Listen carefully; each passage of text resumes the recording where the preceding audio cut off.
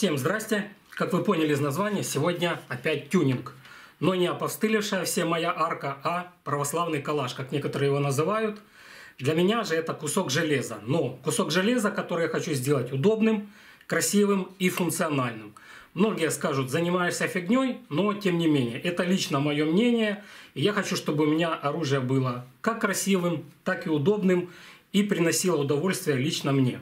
Как вы поняли из названия, тюнинг сегодня от израильской фирмы Fund Defense предоставлен оружейным магазином Safari с города Днепр. И сегодня я буду ставить некоторые из плюшек, которые они раньше мне прислали. В общем, буду переодевать свой калаш из Макпула Fab Defense, ибо более наглядно тюнинг ложится на первоначальный вид автомата Калашникова. Но как из этого сделать нулевой калаш? Очень просто, с помощью волшебства монтажа.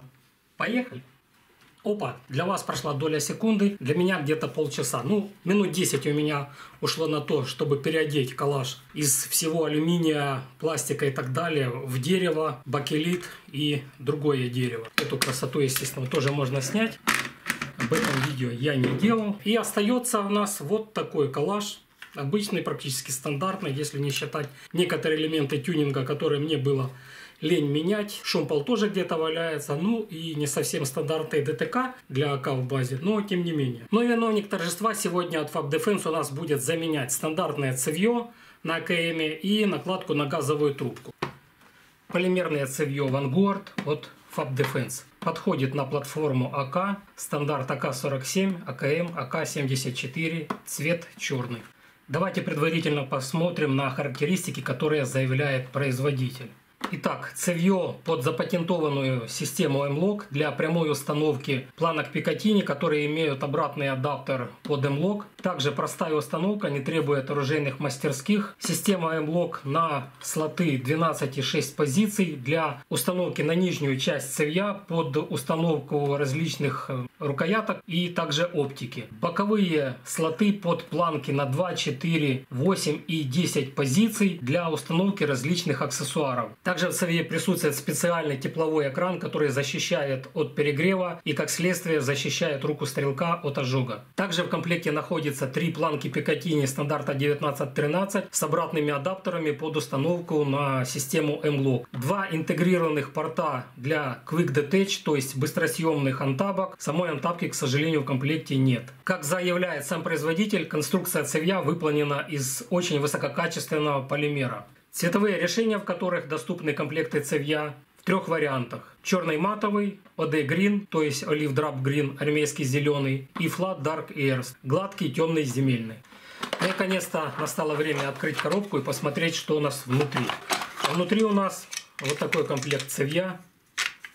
Три планки Пикатини, и шестигранный ключ. Сами планки выполнены из того же полимера, что и цевье. По качеству очень твердый полимер, даже не похоже на пластик. Планочки имеют логотипы на своих поверхностях. Как я сказал, три планки в комплекте. Одна длинная, одна короткая для установки на боковую сторону цевья или накладки на газовую трубку. И одна вот такая планка. Она немного сдвинута в сторону, специально для установки под фонарь и для того, чтобы можно было укладывать сюда палец для удобного хвата. Накладка на газоотводную трубку довольно простая, ничего сверхъестественного. Внутри нет никаких проставок, но есть специальные пазы для установки в ответную часть на цевье для того, чтобы позиционировать саму накладку и чтобы она не ездила. Само цевье имеет довольно интересную форму. Внизу оно немного сужается для улучшенного хвата. На бортах есть логотипы производителя, два интегрированных порта Quick Detach, название модели и логотип запатентованной системы крепления навесного оборудования. Чем еще интересно цевье, оно внутри имеет порт для того, чтобы можно было установить стандартный шомпол. Есть вот такое возвышение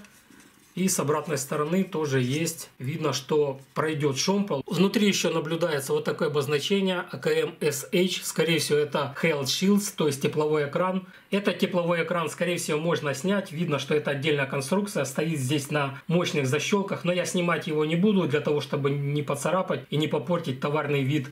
Знаю, что вы уже устали от моей болтовни, поэтому перейдем непосредственно к установке этого комплекта цевья на АКМ. Для этого производим неполную разборку стандартную, снимаем крышку, пружину, затворную раму. Да, немножко грязненькая, извините, я стрелял просто другое, это у меня лежало какое-то время. Газоотводная трубка, сейчас мы будем снимать с нее накладку и поворачиваем эксцентрик, снимаем само цевье сдвигом оковки.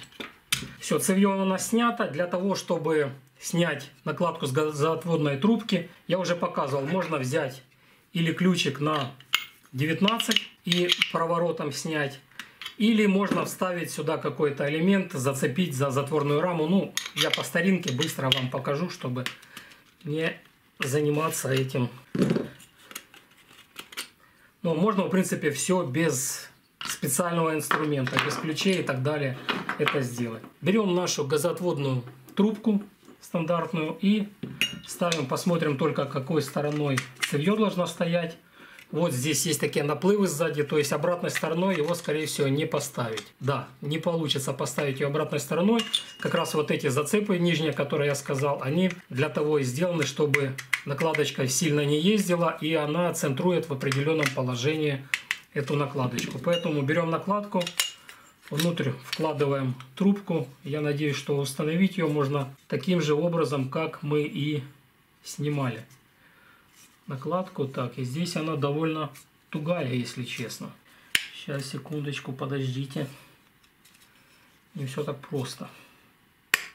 Так, надеваем или одеваем поглубже и ставим ключик проворачиваем. Нет, я еще не до конца одел, получается. Нужно глубже одеть. После этого проворотом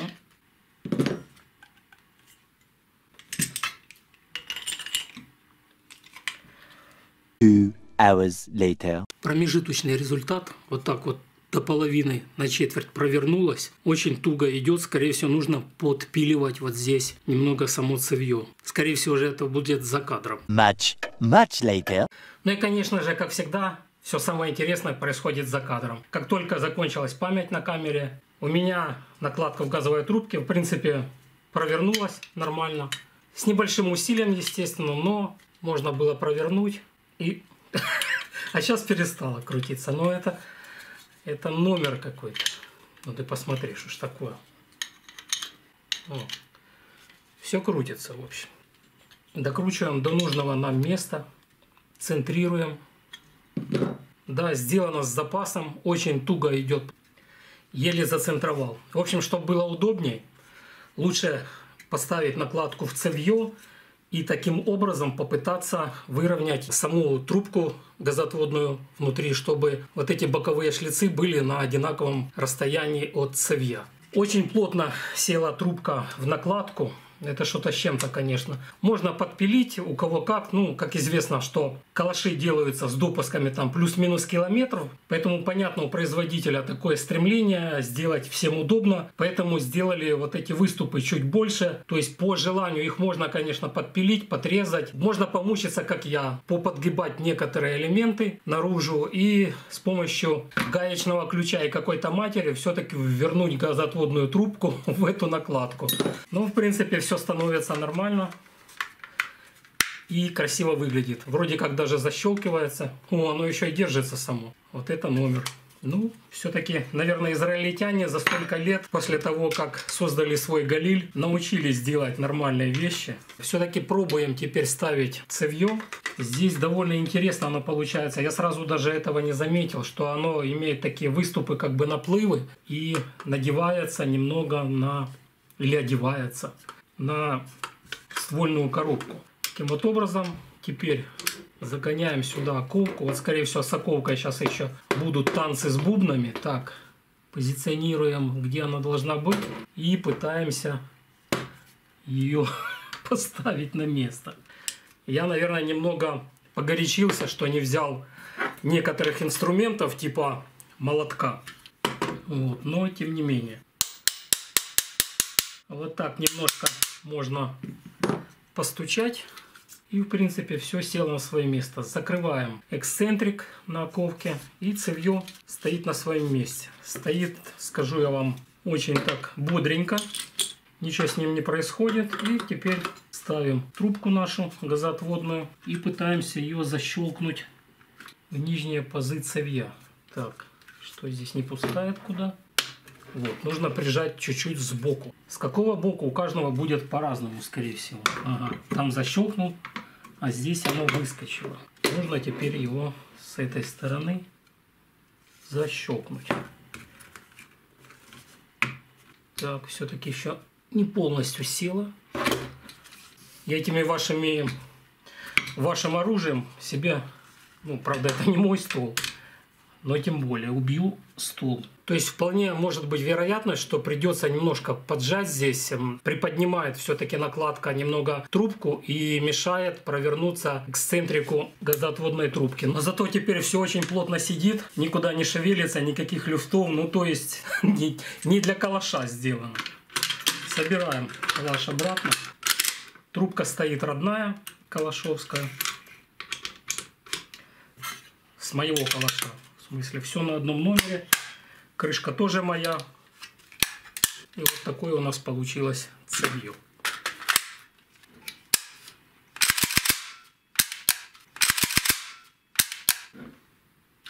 В принципе, на этом можно было бы и остановиться, но мы так не сделаем. Почему? Правильно, потому что нужно поставить планочки. Я, в принципе, покажу, наверное, сейчас на одной из планок. Например, на нижней. Берем планочку, какой нам удобно стороной ставим ближе к ствольной коробке или к дульному срезу в зависимости от того, что мы будем использовать. Позиционируем здесь гайки внутри. Как видно, здесь слоты даже пронумерованы и какие-то буквенные обозначения есть. Здесь вот сзади, если посмотреть, специальные зацепы, которые встают э, вместе с гайкой в определенные пазы для того, чтобы не двигалась потом сама планка. Поэтому мы позиционируем, как нам удобно. Вот, например, сюда я решил переднюю часть поставить. Берем ключик, прокручиваем. И э, система M-Lock имеет такую функцию, что у нее в эти прямоугольные гайки, они самопозиционируются перпендикулярно отверстию, куда мы его поставили. И после этого закручивается только сам болт. Уже гайка стоит на месте и препятствует, собственно, раскручиванию. Зажимаем, естественно, с таким усилием, чтобы ничего не попортить, потому что все возможно. Также вариант попробую поставить боковые. Здесь, как мы видим, на самом цевье есть три планки и на накладке две. То есть можно и внизу ставить, и вверху, сколько угодно. То есть вот в таком варианте, например, вот. И, например, планка, вот это мне удобно под палец. Как я говорил, ее поставить, например, вот так. Это к тому, что можно их поставить вот здесь рядом. Вот так две. Также вариант можно я для разнообразия сделаю сверху. Поставлю эту планочку. Вот мы оставим сюда. То есть кому удобно коллиматор сверху, может ее поставить здесь. Я почему не люблю коллиматор над э, газоотводной трубкой? Во-первых, это вы когда снимаете, то вы, ну, частично, естественно. Если все подогнано нормально, то оно станет на свое место, там может пару выстрелов вам надо будет для перепристрелки. Но с таким вот усилием, если его ставить, то вполне может все сдвинуться. Опять же, оно завязано все на газоотводную трубку, а трубка пляшет при стрельбе тоже нормально. Я не уверен, хотя монолит получается, но тем не менее, лучше, конечно, перестраховаться. Поэтому у меня все равно стоит вот крон, например, или будет крышечка специальная, но об этом позже. И, к сожалению, для вас, скорее всего, в следующих видео. Позиционируем гайки как нам удобно и ставим. Кстати, есть обозначение этой планки, если кому интересно, MA1 Fab Defense. И, собственно, позиционируем его, ставим верхнюю часть накладки газоотводной трубки и зажимаем. Идет с усилием, но когда вы чувствуете, что уже как бы уперлась в некую полку, лучше перестать затягивать, оно в принципе вот все уже держится. Вот так вот получается. Все прекрасно. Можно вот так пальцем держать. Вот сюда, это я, кстати, правильно еще поставил. Можно сюда палец укладывать и он работает как хендстопер, ну в данном случае для пальца. Но напомню, Fab Defense выпускает специальные хендстоперы для пальца, но, к сожалению, они идут только под планочку Пикатини. Если под M-Lock они их переделали, вообще была бы красота, потому что планка, естественно, повышает высоту и становится примерно это дело все вот так.